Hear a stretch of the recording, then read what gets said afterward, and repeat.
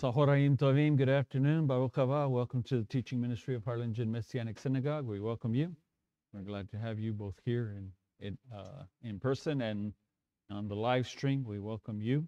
a few announcements before we get started. First of all, uh, I wanted to thank my son Richard for covering yesterday. It was actually a surprise to me because I had told him because uh, the, they had told us that mom just had a few days left and so wanted to spend as much time with her as possible. And so I told him, well, have a video ready. We had there several good messianic teachers, and I said, have a video ready and just we'll show a video. And so he shocked me too when he came up and and uh, did his part. So you say where he gets it from. We're an emotional family, but anyway, um, uh, want to. what was that? so, uh, but anyway, um, um, she did pass away uh, very early Monday morning. She made it through uh, Resurrection Day and um, um, literally like about midnight is when she passed away. And so um, we're very thankful. Um, it was one of those really cool things because I don't know how many of y'all used to watch uh, the Billy Graham Crusades and things like that. And there was a, a gentleman who used to sing for him called George Beverly Shea. And he was my mom's favorite singer. And so I had put on, I had taken a little speaker uh, over and took my phone over and I started playing George Beverly Shea music on YouTube. And uh, um, she started humming along with him. It was so cool. And she hummed through two or three songs. And then she started having trouble. And so my sister gave her some medication to help her breathing, and uh, she fell asleep and she didn't wake up. And so it was, she went to sleep praising God and singing songs of her love for God. And to be honest, that's the way we should all want to go. Not struggling with it. She was very much at peace with everything. In fact, she had told my sister the day before, I want to go home. And my sister said, Which home do you mean?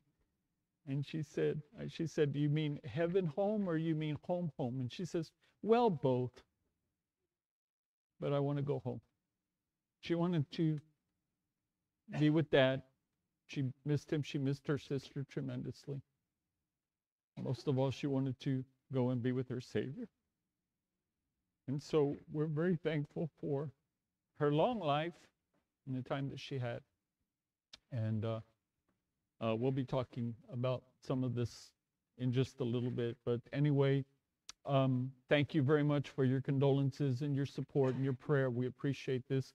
Thank you for putting up with us for these uh, last six months that have really been hard. Miss Wilma, very glad to be back in the service today, and she, she came was able to come last week because I stayed, and but uh, she's very glad to be back in the service today um, and be with us. Um,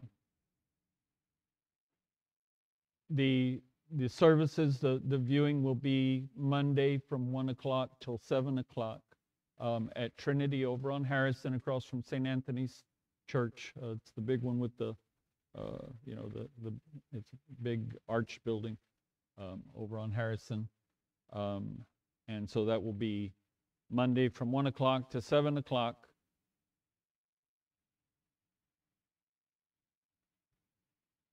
told you it comes in waves. I was good all morning today. I thought, okay, I'm gonna get through this.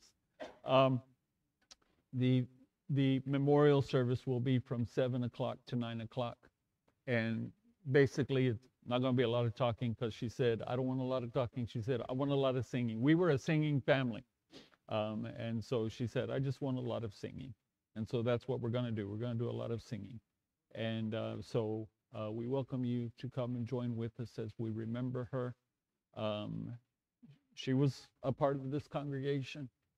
Um, and so um, un, until uh, she came, she joined with us until uh, I got sick uh, with cancer, and uh, I think she even came then. Um, and then when COVID hit, that's when she really was not able. She was already 95 or something. She wasn't able to get out anymore after that. Um, and her, she kind of went downhill, not able to walk and things like that. So, but anyway, she was faithful to the to the services. She gave her tithe here, um, and so um, we want to honor her memory. Um, so um, on, so it will be the viewing will be one to seven, um, and then the uh, memorial service will be from seven to nine. On Tuesday will be the burial. We're not having a service on Tuesday. We'll be leaving the funeral home about 10 o'clock and going out to uh, Mont Meta uh, Cemetery uh, between San Benito and Rio Hondo. Um, and the, the service out there will start at about 11 o'clock. So uh, we thank you for, again, for your condolences and all of your help. Um, our, our, my family is going to be meeting here um, after the cemetery.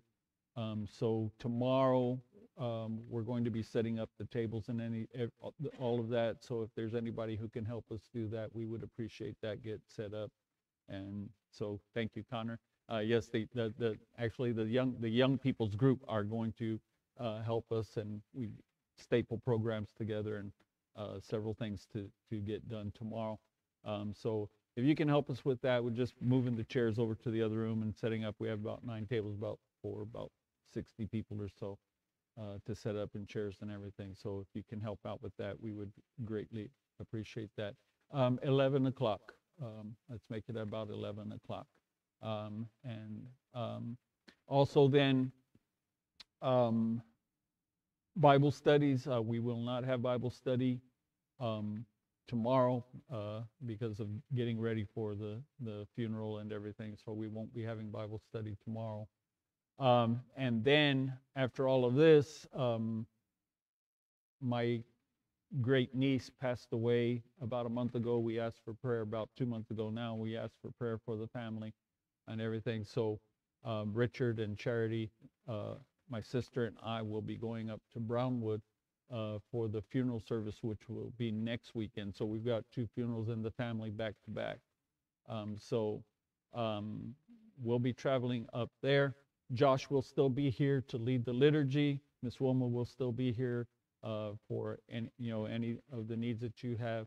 Um, and it is my privilege to announce that that great comedian debonair, um, Keely, no, Raymond Orta will be uh, will be teaching next next week, and so um, come ready. I'm sure you'll have some good laughs. Okay, so uh, no pressure. No, no. Uh, but uh, no, and it's up to him whatever he chooses to do uh, in the service to teach. Um, and by the way, I fired Richard. Uh, these 10-minute messages just don't cut it here. I'm sorry, but he's. I told him. I said, "You're going to spoil the people. You can't do that." But anyway, um, so. Uh, but uh, no, uh, we want you to come. We want everyone to come, and and uh, but Raymond will be teaching, um, and so I'm, I'm, sure you'll have uh, uh, a good a good time in the Lord, and and and no pressure. It's a, it's okay to laugh in service. You think that God doesn't have a sense of humor? He made me, so you know. I mean, what can I say? All right, so. Um, but uh, God has a, a, He created man in His likeness and in his, in His image, and His timing is perfect, and He has a great sense of humor. Okay, and so you know, people have this this idea that Jesus was just always sad. Yeshua, he was always sad, and he has this, you know, he has this very straight look on his face. He was a comedian. Okay, he was the top comedian. Okay, he had a good sense of humor, and so it's okay to laugh the joy of the Lord is my strength. So we can laugh and enjoy and have a good time. Uh, my family, you know, we're, we're all we, we, you know, we, we love to laugh. Our family has always loved to laugh. And it's very, it's actually very difficult for us to be serious, even in serious times, because funny thoughts come to your head. And you have to tell somebody, and then everybody starts laughing, and then people think you're being inappropriate. No, we're just enjoying the goodness of God, even in serious situations. I mean, there's times, yes, and and there's times to take it down, and there's times to cry, and there's times to rejoice.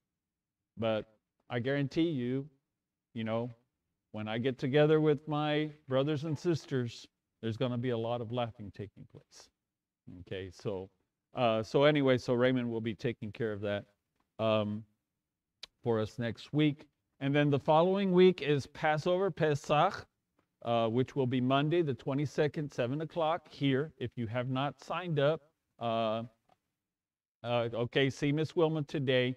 This is the last day um, for just the synagogue. Okay, so if you have not signed up and told her how many tickets you need, you need to do that today because tomorrow we're opening it up. Because I, am not kidding you. Uh, in the past, we have literally packed out this building. We've had people from the synagogue would have to uh, not participate, not eat, because people we would have guests coming in and things like that, and that's why we started the sign up system. So um, if uh, uh, if you want to participate, that will be, 7 o'clock on Monday, the 22nd. Okay, so that's two weeks from t- tomorrow, I believe. Yes. So uh, that Sunday, by the way, we will also be setting up. Okay, so there won't be any Bible study for two weeks. The next Bible study will be the 28th, Sunday, the 28th of April. Uh, so no Bible study for the next two weeks. And again, if you want to help set up, Ms. Wilma would greatly appreciate it because there it the Pesach is very special, um, and there's a lot of things to do, a lot of setting up and preparation and everything. So if you can help with that, that would be greatly appreciated. All right. Um, please don't forget your tithes and offerings um, so that we can continue the ministry here. We appreciate that. Uh, we have uh, Zelle, we have PayPal, we have uh, uh several accounts uh, we have the box over here. If you bring it with you, we have the box over here. Um, and so we appreciate that so that we can continue on. All right. Um, if you would turn this morning, I'm going to shift gears just for today. And then uh, when we get back um, the following week, we'll get back with our creation series, um, which we're, we're almost finished with that section. And then we'll move on to Genesis chapter 2. But uh, this morning we're going to do something different. And so, if you would, Proverbs chapter 4, let's go to our Father in prayer. Avinu Malkenu, our Father, our King, we love you. We thank you so much for your life, for your goodness, Father, as we were just singing a moment ago. That I will forever sing of your goodness. I will sing of the mercies of the Lord forever. And with my mouth I will make known your faithfulness because you are faithful to us even when we're not faithful to you. Father, we thank you for your goodness. We thank you for your love. We thank you for the great salvation which we have through the sacrifice of our Savior, Yeshua the Messiah, his death on the cross, his burial, his resurrection. And so we thank you for this. We thank you for eternal life, Father that even though our loved ones leave us here, from this life they go, Father, into Olam Haba, the world to come. Father, one day we will join them there with no more tears, no more sorrow, no more sickness, no more dying, no more, no more crying because of, of this great salvation.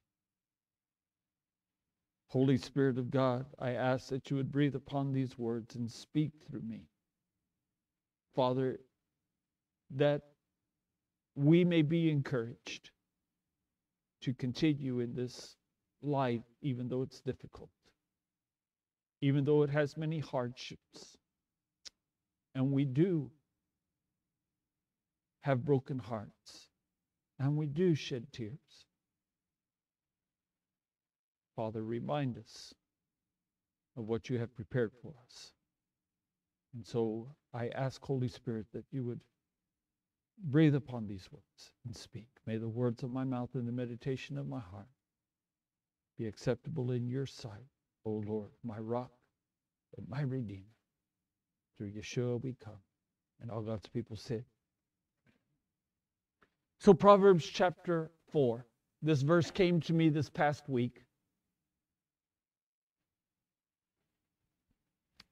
I love how God works. I love how God gives to us appropriate messages at appropriate times. I can remember many times how I would be preparing messages and over the years and I would be sitting there at the keyboard and playing music listening to music while I'm studying and while I'm preparing, while I'm typing everything out. And I would ask God to give me the words to speak. I would ask God to show me, to encourage me, to show me, is this correct? Is this, and, and understand that when I'm teaching, I do this to this day. I don't want to make mistakes. I don't want to make doctrinal mistakes. I don't want to be incorrect. I want to make sure that what I'm teaching is truth. And so I always ask God to show me truth as I'm preparing, not just while I'm teaching, but even as I'm preparing and getting ready. And songs would come on. just at the right time, at the appropriate time.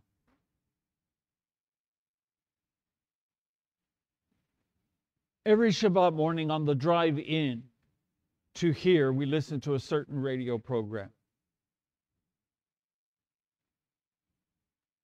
And this morning, that program, it's music, spiritual music. This morning, every single song was about heaven. And I pointed that out to my wife. Everyone. It was all about heaven. Now, why would God do that? He knows that I need to hear that. I need to rejoice. I need those songs in my heart.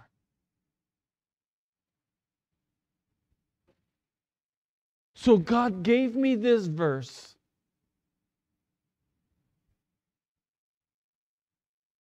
The day after my mother passed.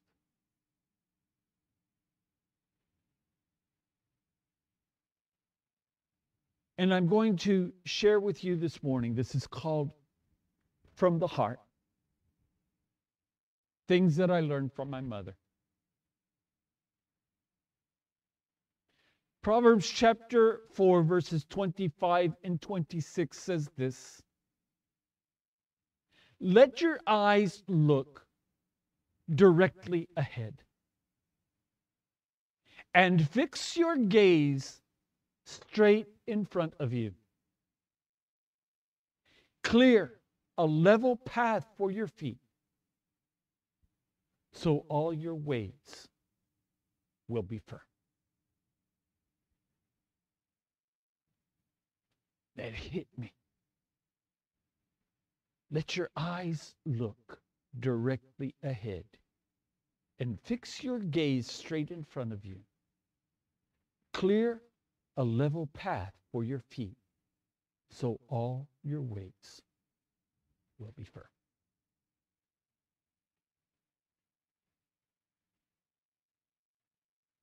What is God telling us? He's telling us no matter what is going on in your life, keep your focus. Keep your focus.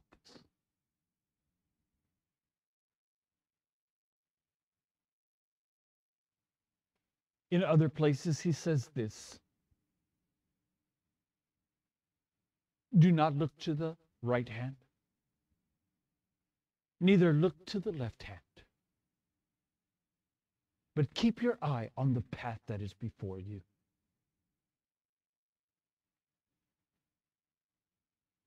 Do not let things distract you. Distract me from what? From who I am and from why I am here. From what my purpose in this life is, no matter what else is going on. What is the purpose of my life? And the reason why this verse touched me so much this week is you see, it was one week ago this week that I was diagnosed with cancer six years ago. They thought that I had stage three colon cancer.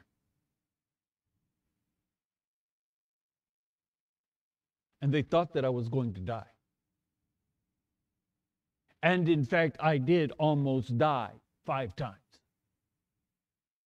I had four separate surgeries, five.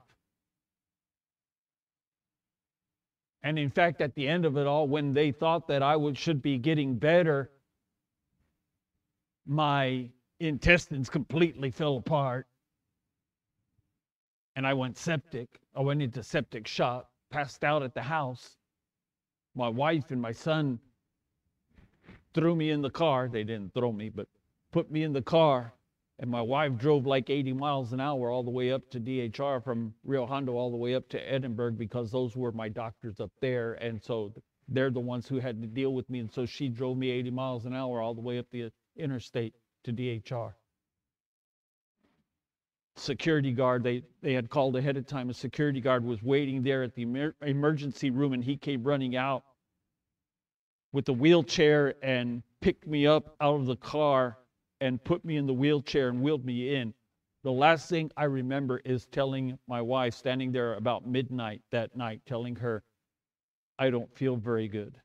And she said, I threw up and passed out in the living room of the house. And I don't remember anything else until I woke up over a week later.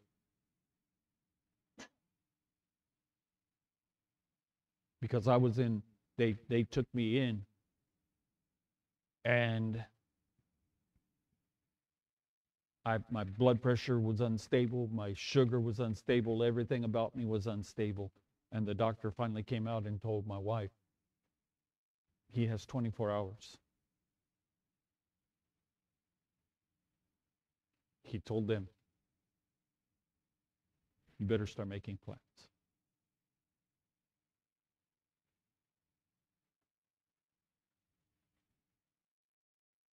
And where we're burying my mom on Tuesday, my mom was going to put me there because I didn't have any place to be laid.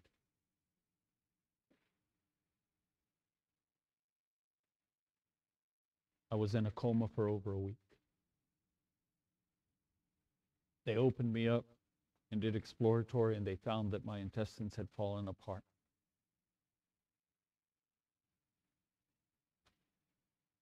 And so they used suction, removed all the infection that they could get out started heavy medications, heavy antibiotics.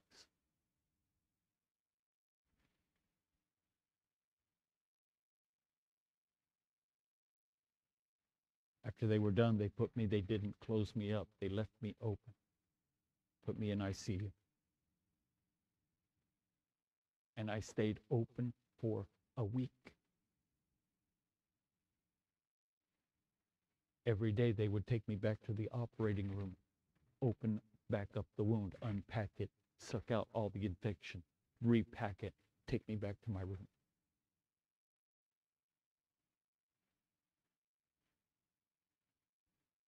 And I can tell you things that I saw Some of it good, some of it not good. Because I was going back and forth between the two sides. What do I mean? Living, but going to the other side and coming back and going to the other side, and coming back.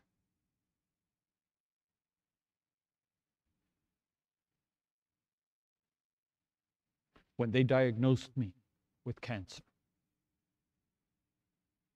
and I've said this before and I'll say it again, I never, you know, people may wonder when's he going to stop talking about this? I'm never going to stop talking about this.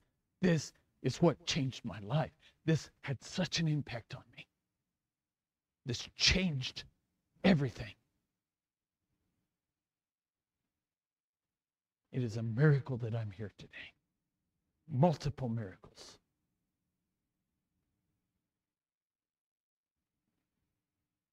But when they diagnosed me six years ago today, I told Wilma, we're not going to cry. And we're not going to live in fear. God's will be done. He knows what He's doing. And if His will is for me to die, then die I will, but I know where I'm going. And I have family that I haven't seen in years. I haven't seen my dad in 20 years. I haven't seen my grandmother in 40 years.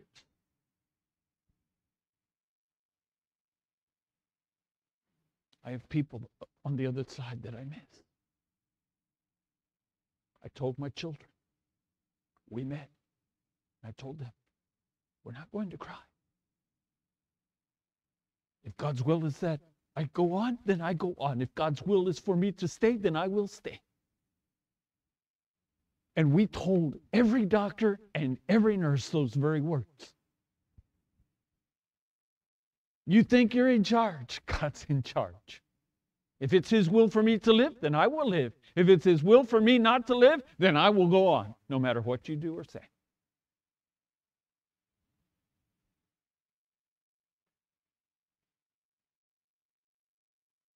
When I saw these words this week, it reminded me of that time.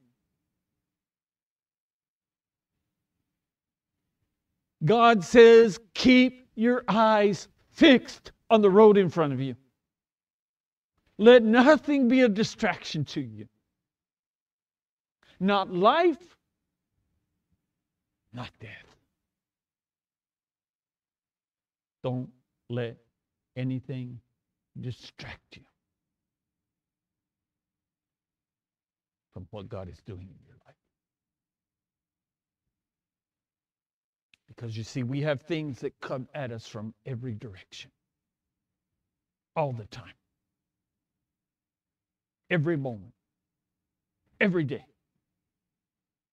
There are things that will take our eyes off of the path, that will take our eyes off of the focus, that will take our eyes off of our purpose, that will take our eyes off of Yeshua.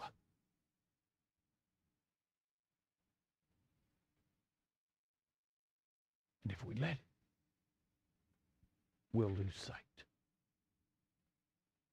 we will lose sight of why we're here.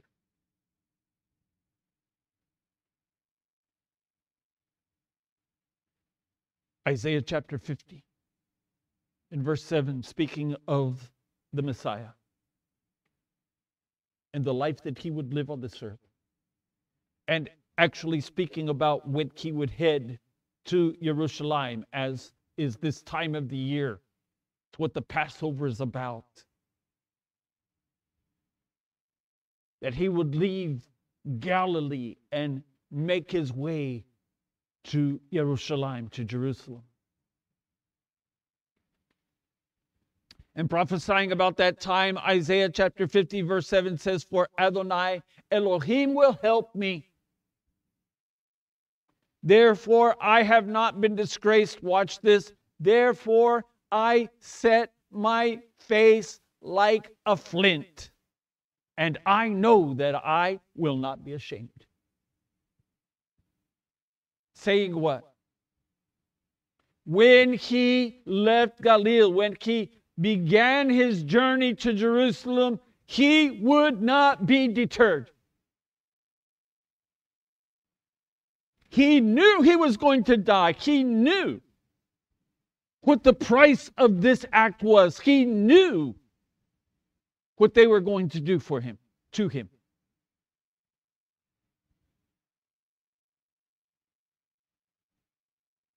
He knew.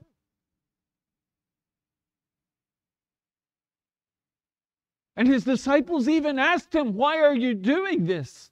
Why are you going there? You know that they seek to kill you. And what does he say? The appointed hour is close to hand. I must do what the Father has sent me to do.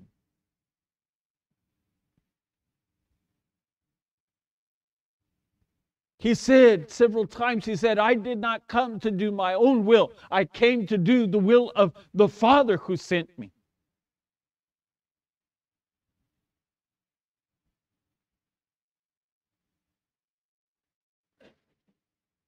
And so when the time came, when the appointed hour came,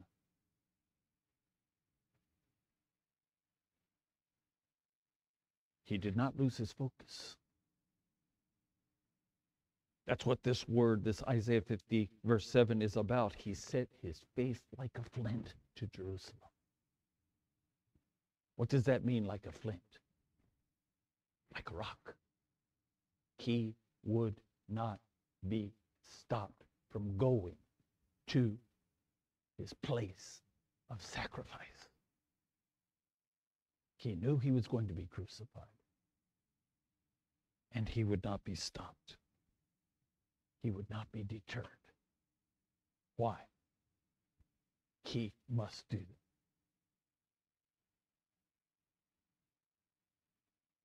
Before the foundation of the world, this was the plan.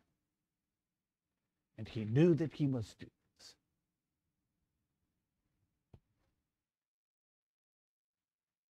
As tremendous and horrific as the events ahead were going to be for him, He faced it. As we would say, like a man. He faced it fearlessly, willingly. He would not be deterred in laying down his life. We say that we're his followers. And yet we get so discouraged so many times, so many things coming at us and being thrown at us.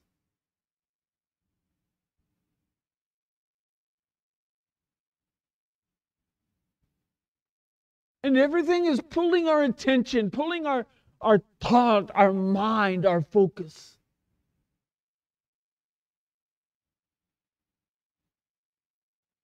How do we do this? the way He did it.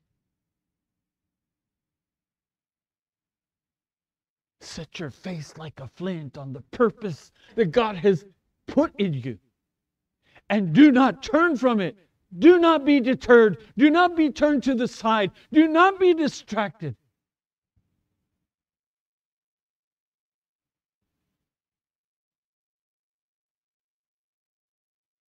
And that was my mom and my dad.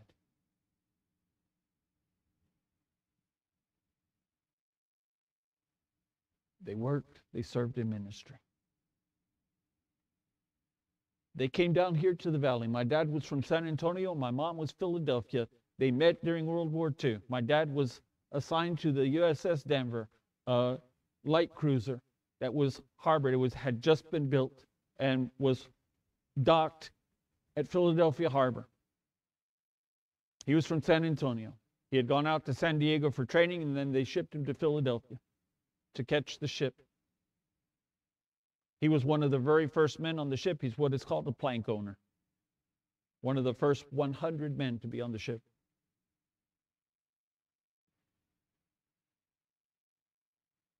In fact, he was among the first group of the first day that they opened the ship for the sailors to come on board.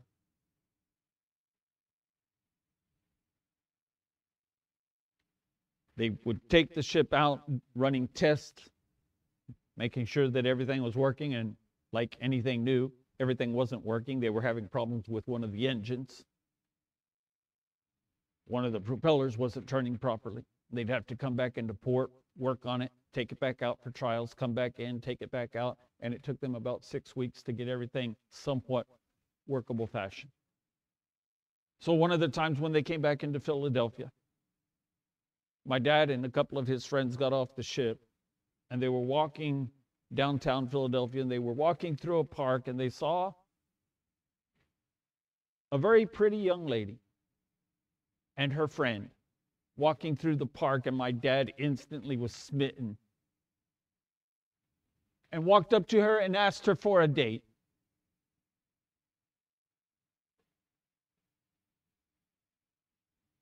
And that beautiful young lady who was my mother agreed to the date. Total stranger. Waco Texan.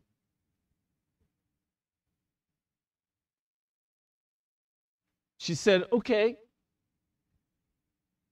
I'll go out with you on one condition.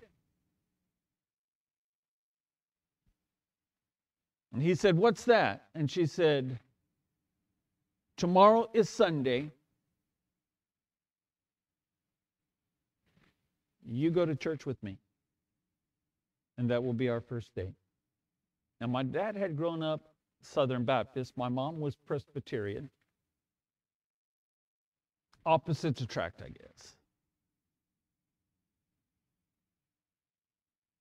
My dad had been living, my, my grandfather was a lay evangelist. That is, he wasn't ordained, but he would travel around to churches as an evangelist, San Antonio, Southern Baptist. But my dad had gotten on kind of the wild side.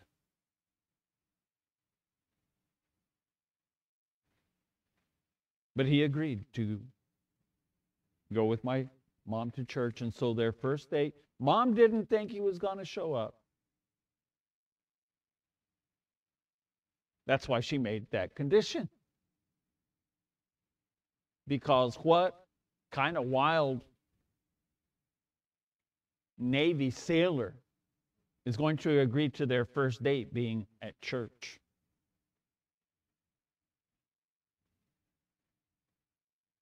he showed up. And so their first date was to J.R. Miller Presbyterian Church in Philadelphia, Pennsylvania. By the way, that church is still there today. And because mom and dad became missionaries after the war, they still financially support my mom. In fact, we called to tell them that mom had passed away. And the pastor said, we asked if they wanted us to return the check that would be coming. And he said, Oh, put it in her account. We want to help with, with the expenses. They have supported mom and dad since World War II.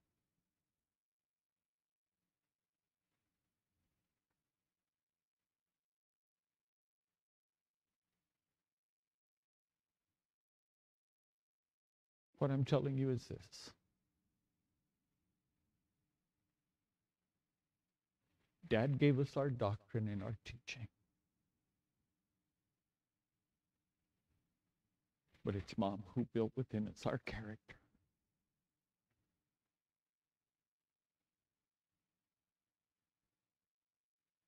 In their second sea battle,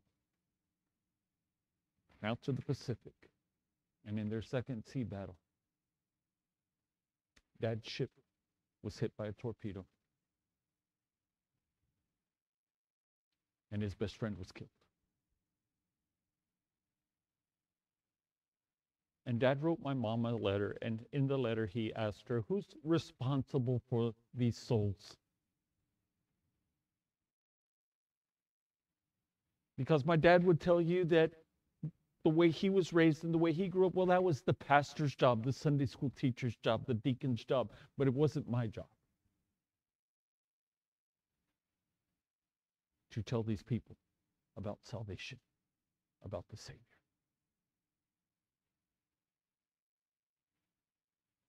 And so he wrote my mom because he was very bothered. He had no idea whether this friend of his had made it into eternal life or not. He had no idea about his spiritual condition, and this bothered my dad greatly. And so he wrote her a letter and he asked her, Who's responsible? And my mom wrote him a letter back and said, You are. And that's the way she was.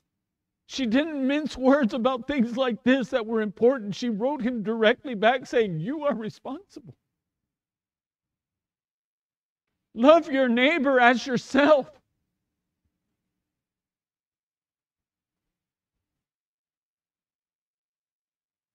You are responsible for the people who cross your way. You are responsible for the people whom you beat along life's way. You're responsible. That's why God is sending them to you.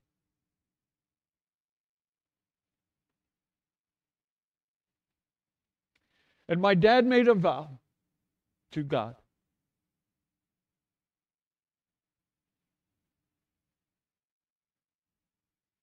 And the vow that he made to God was this that if God would spare him and get him home from the war, number one, he would marry Florence Mildred Cook from Philadelphia. And number two, he would serve God any way, anywhere that God would place him. I will serve you for the rest of my life.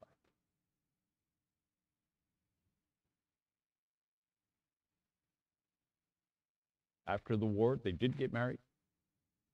The war ended in August, they got married in January. Dad went to Columbia Bible College in Columbia, South Carolina, graduated. And in 1957, he and my mom packed up not all of their kids. They left some of them, some of the children, the older children, with my grandmother. Brought the two younger ones and started for Texas. By the way, my mom's favorite verse was In whatsoever state I am, therewith to be content. And she would tell us, and that means even the state of Texas, because she did not like Texas. And so she said, she would tell us, no, what whatsoever state I am, even if it's the state of Texas, therein to be content. And so she and dad came down to serve dad here. They stopped in San Antonio to visit my grandmother there. And I did not mention to you that she was nine months pregnant. In 1957, traveling in a 1955 Mercury station wagon, pulling a trailer with a few of their possessions. No AC.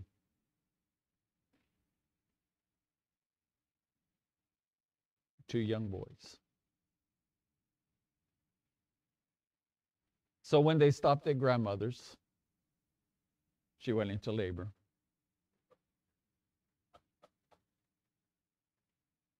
And so my next older brother, Joel, was born in San Antonio on March the 6th. They waited a month. Make sure he's going to make it all right, you know. Got back in the car and headed to the valley. But They didn't have any money. And they did not know what to do. Well, you've heard of Charles Butt, the son of Howard E. Butt, the owner of HEB. They were stationed, they were the office headquarters, had been in um, San Antonio, not, not, San Antonio, it had been, I forget, but it, they had moved it. They had actually moved the headquarters here to Harlingen. In fact, the second and third HEB stores, grocery stores, were built here in Harlingen. It was downtown, right? Just a couple of blocks over there. Harlingen School District now owns the building. And that was the first HEB store in Harlingen, and Howard Butt had a house right over here, about a half a mile away from here. And you can look it up online, the H.E. Butt home of Harlingen, Texas. And he was here for several years. And then they moved it to Corpus Christi. And then from Corpus Christi to San Antonio. Well, they were in Corpus Christi in the 1950s, and so my dad was passing through. Well, Howard Butt was a Southern Baptist. And he was somewhat familiar with my dad's family and their church. They went to First Baptist Church of San Antonio, and Howard Butt was familiar with them. And so he was given a letter of recommendation. And so, about three o'clock in the afternoon, my dad drove up to HEB headquarters in Corpus Christi and asked to speak to Mr. Butt, Howard Butt. And Mr. Butt received him. And my dad said, We're headed to the valley. I've got a newborn baby, two sons. We're going to, going to be missionaries. And I'm almost out of money. Can you help me? And Mr. Butt gave him $50. Now, mind you, this is 1957. That's like giving him $500.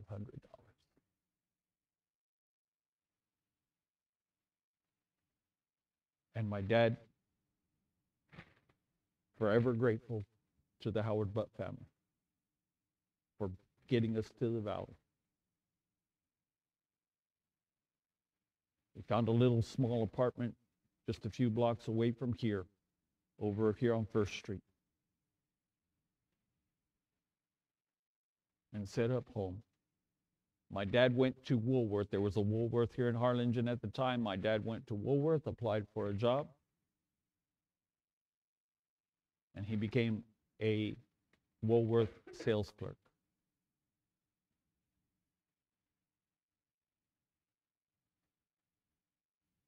And that was the beginning of their ministry.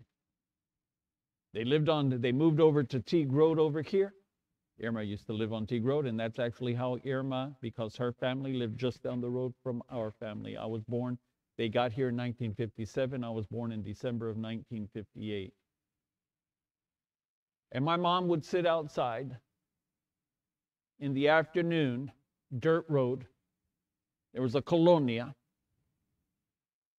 back down the road from where we were living, and my mom would sit outside, and as the children were walking because the bus would drop them off down the road. And so, as the kids were walking, my mom would sit there with a table with cookies and Kool Aid.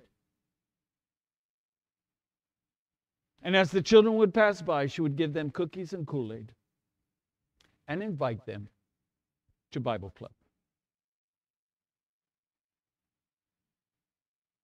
And so they started a Bible club. Dad went to the church. It was a small Baptist church that he was attending. Dad went to the church, asked if they could start an afternoon Sunday school on Sundays. They started an afternoon Sunday school, taking the Bible club kids to church for their own church service. That Sunday school turned into a mission, and the mission turned into a church, Iglesia Bautista Gracia. And that church survived for 35 years. In 1982, I became the pastor of that church, walking in my dad's footsteps. In 2013, we became messianic.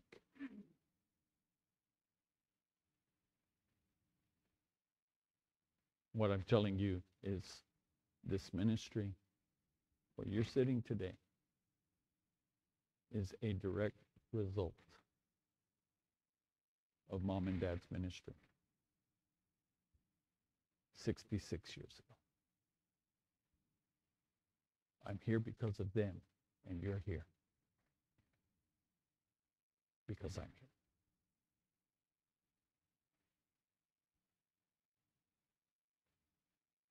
So, very quickly. It was my mom and dad who taught me not to quit, not to give up. Mom and dad faced many, many hardships. We grew up poor. I mean, poverty poor.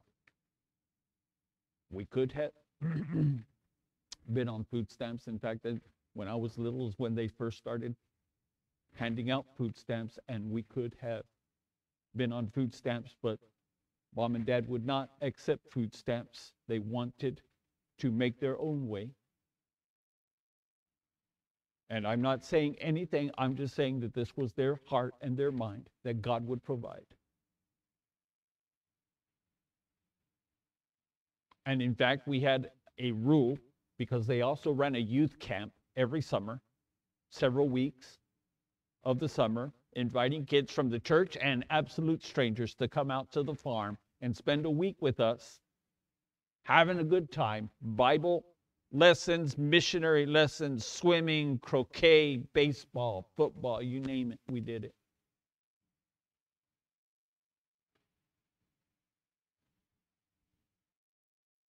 And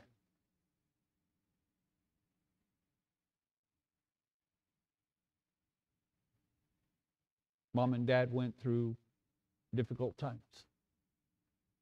But we had a rule at camp.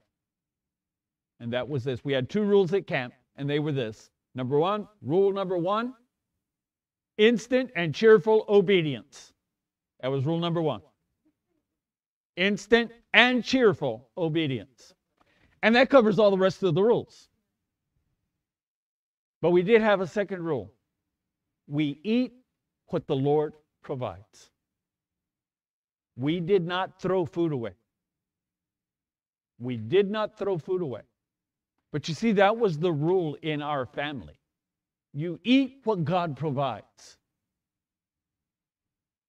So there were days when we ate turnips, and I can tell you, I did not like turnips. There were days when we ate greens, and I'll tell you, and I mean turnip greens, and I'll tell you, I did not like turnip greens. There were days when we ate liver. And when I tell you days, I'm talking about like days in a row, like it was turnip, turnip, turnip, greens, greens, greens, liver, liver, liver. Because we were poor.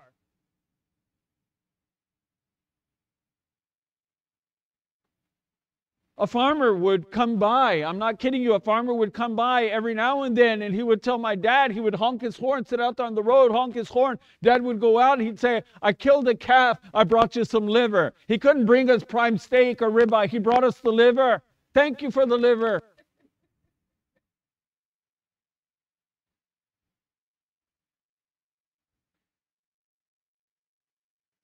And so he would bring, a give dad the whole liver. And dad would thank him profusely because he had food to give to his children and put it in the freezer. And every night for a couple of weeks, mom would be slicing off liver. Farmers would call us up and say, We're going to plow under our carrots. Come and get as many as you can. Dad would pick us up, cold winter days, because that's when they grow carrots, cold winter days, and Dad would come and pick us up from school. In the station wagon and in, in the box, back would be boxes and boxes and boxes. Up on top of the roof would be boxes and boxes and boxes and he would drive us out to that field and we'd be out there on a drizzly cold afternoon after school picking up carrots filling up boxes putting them in the car and then we would go home and we would have carrots and carrots and more carrots and more carrots I'm not kidding you. We had carrots, we had cooked carrots, stewed carrots, raw carrots, carrot cake, carrot ice cream, carrot slaw, carrot this, carrot that. Carrots because we had pile a pile of carrots sitting out in the yard.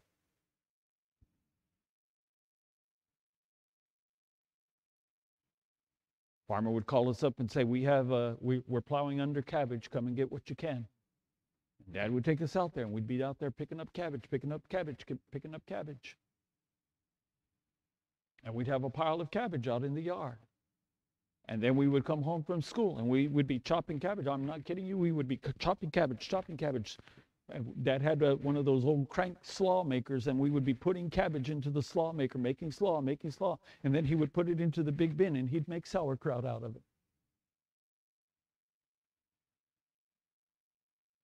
We ate what the Lord provided. You know what? I still don't like turnips. But I grew to be okay with turnip greens. And I enjoy liver. Why? It goes back to my child. Proverbs 22 6. train up a child.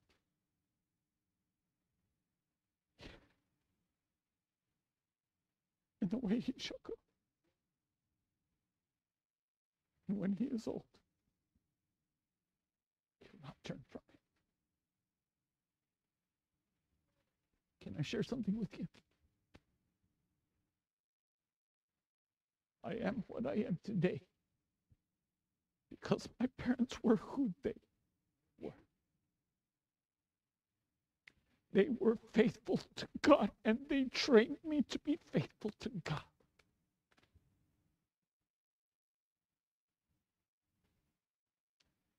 People don't understand when it says when they're old that they will not turn from it.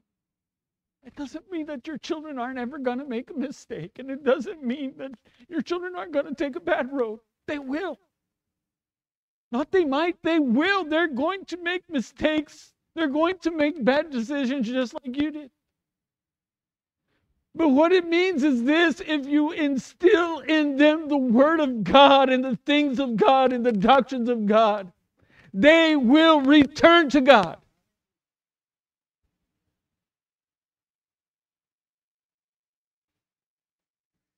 And I can tell you that that is true. Can I tell you that I started learning Bible verses before I ever went to school? Mom would sit us down and she would go over it, take it apart word by word, put two words together, put three words together. For God, for God so, for God so loved the world, and make us repeat it over and over and over again every day for a week, every day, every day, every day, repeating it, repeating it until it was drilled into my heart. And today, and this is why when I'm sitting here teaching you, I can quote to you from memory verse after verse after verse after verse because my mother sat me down as a little child and began to teach me the Word of God and she had us memorizing verses until I left for college even in junior high, even in high school, we were still learning verses every week.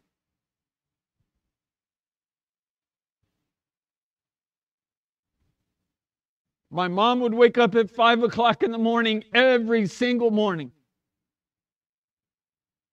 And sometimes we would get up early, and sometimes we would have to get up early to because we hadn't finished our homework and things like that. And we'd have to so we we'd go downstairs, and there we would see mom on her knees in the kitchen, on her knees, praying to God for her family, for her children.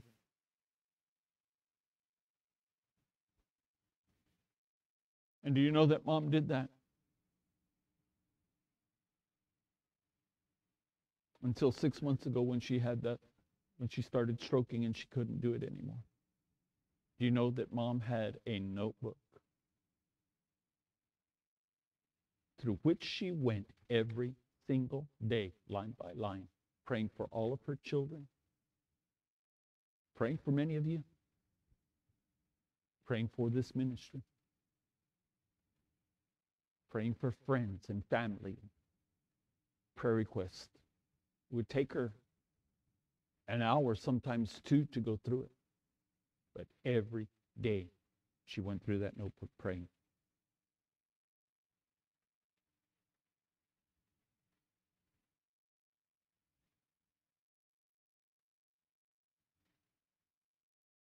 I am what I am today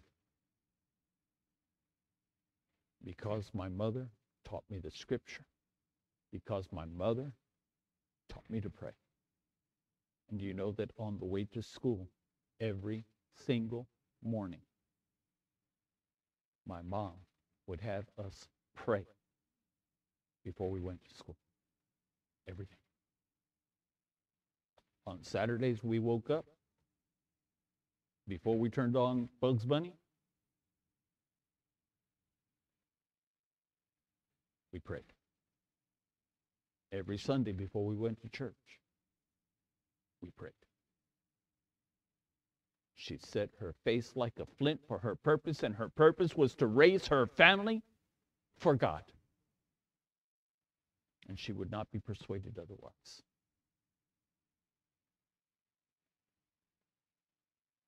So Psalm 119, 11 says, Your word have I hid in my heart, that I might not sin against you. I close with this. John chapter 13 and verse 34. Mom taught us how to love with unconditional love.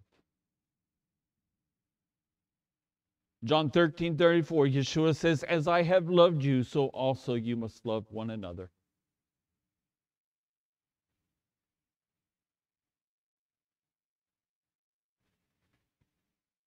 Love does not necessarily mean approval. Because I can tell you there are many times and many things that mom did not approve of. And by the way, she was not shy. Whether she knew you or she did not know you, if she had something to say to you, she didn't mind telling you. And the older she got, the ornery, more ornery she got. She wasn't afraid to give you a piece of her mind.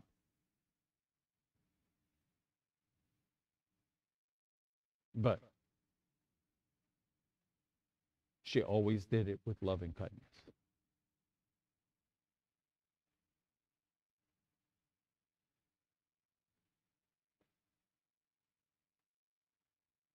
She always did it with loving kindness. There was only one rule that we had there was one unfor- unforgivable sin with my mom. And that was this.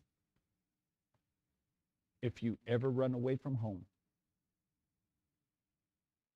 her words, don't come back.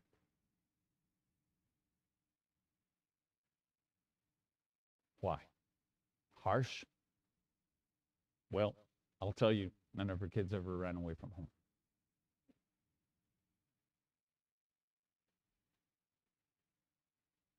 Because she had invested so much compassion and love.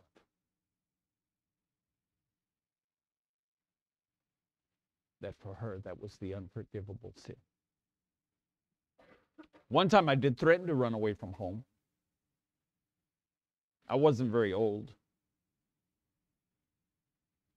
I got upset about some little thing, I don't know what. And so I said I was going to run away from home.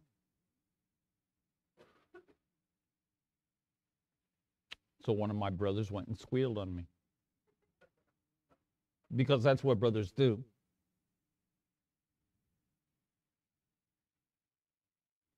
And she came to me and she said, I hear you're running away from home.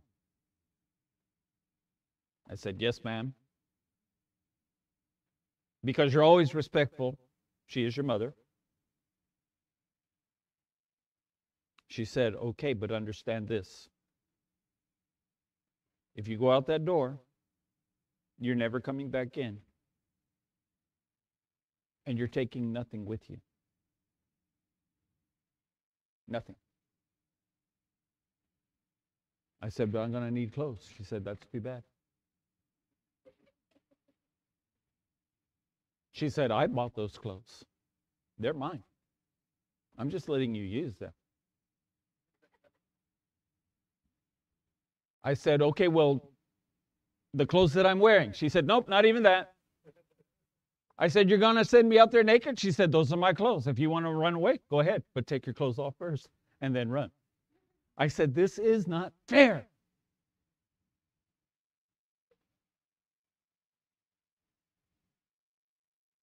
So I didn't run away. My sister had a big trunk. She was like six years old. She had a trunk which she kept all her dolls in. I saw her one day, one Saturday afternoon, sitting out by the dirt road, sitting on her trunk. And I went out there and I asked her, What are you doing? And she said, I'm running away from home. And I said, Well, you haven't got very far. She said, I know. And I said, Well, why are you sitting here? Are you tired already or what? Why, why are you sitting here? And she said, Because dad won't let me cross the road. True story.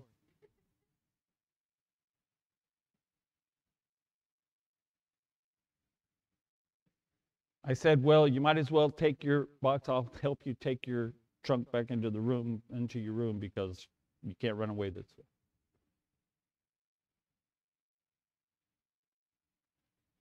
What I appreciated about my mother is that she loved us the way God loves us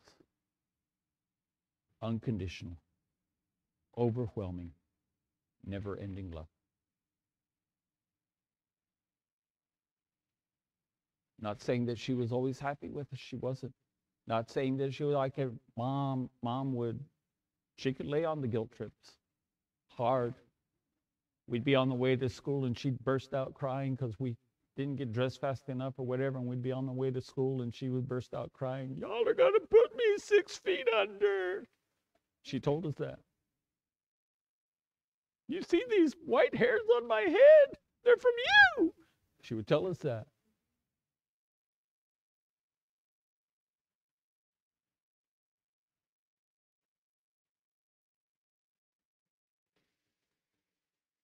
We broke her heart sometimes.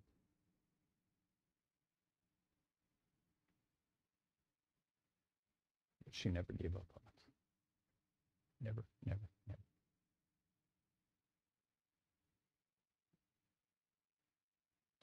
And she loved us unconditionally.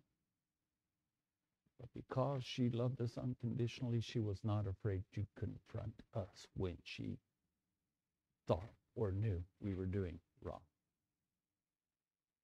even as adults with our own families.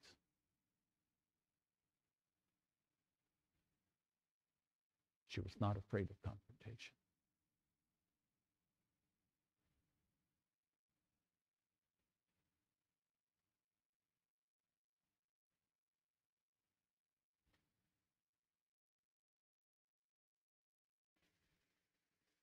And even when we hurt her,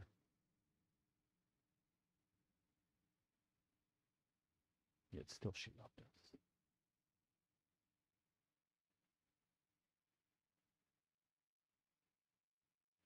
And you know what? If I had run away from home, she still would have taken me back because that's the kind of mom she was. Even though she said she wouldn't.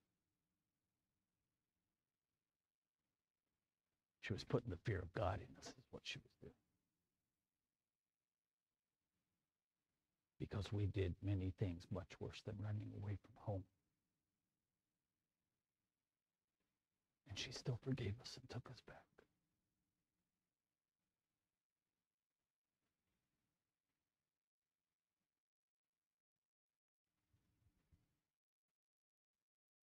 And her very last words to me last Sunday night were I love you too. She whispered those words. I kissed her on the forehead and I said, I love you, Mom. And she said, I love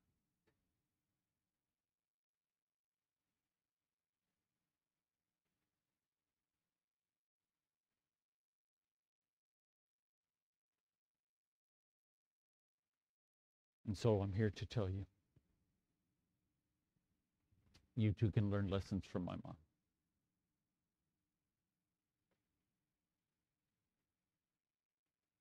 Be faithful to God in everything you do, and don't be turned aside. Train yourself and train up your children in the way they should go. Learn Scripture, pray every day do good, do what is right.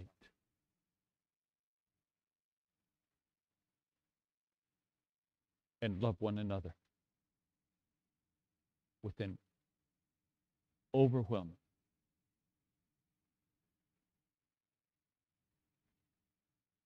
love. And don't just say you love. You know, that's why we have Oneg every day, every Shabbat. That's what Oneg is all about so you can get to know each other. That's why we started it. That's exactly why we started. it So you could have fellowship. So you could, because it's hard to have food in front of you and sitting across from somebody else and not have a conversation. And when you have conversation, you get to know. My Father, my King. I have nothing but overwhelming praise for you today. for the mother that you gave to me and the father who raised us to cherish our relationship with you above all else.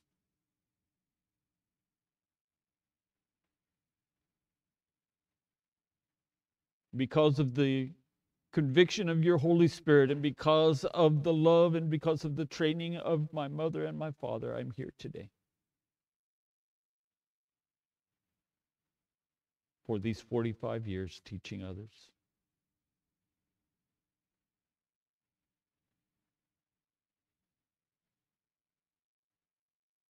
Father, as you taught them to love, they taught me to love, and so I love.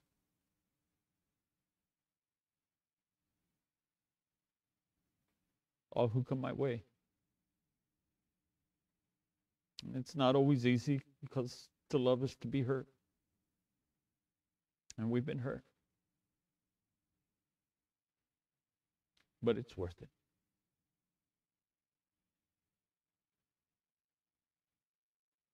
Because to not love is to not know love.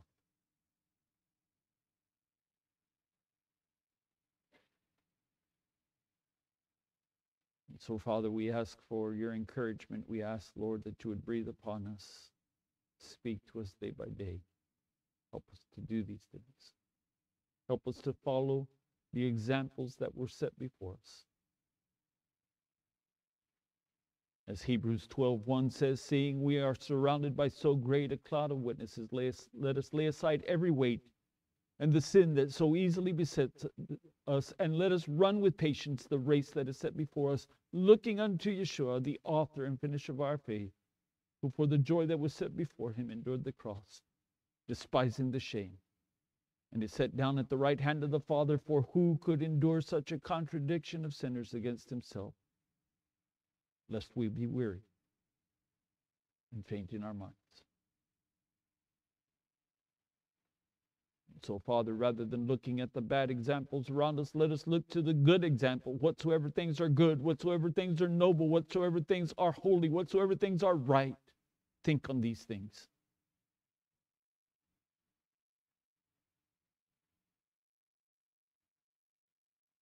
Bless us now, Father, as we have oneg together and then go our way for the rest of the weekend. Bring us back again together next Shabbat, Father.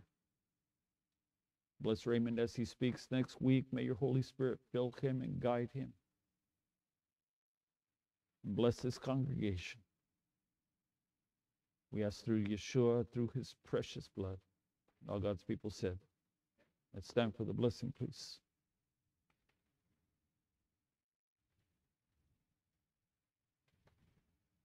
If you would lift up your hands. Yevarech Adonai v'yishmerecha Ya'er Adonai panav elecha V'hunecha Yisa Adonai panav elecha V'yosem lecha Shalom May Adonai bless you and keep you. May Adonai shine his face upon you and be gracious unto you. Adonai lift up his countenance upon you and fill you with peace from the Prince of Peace, Yeshua Mashiach, the Imru. Amen. Shabbat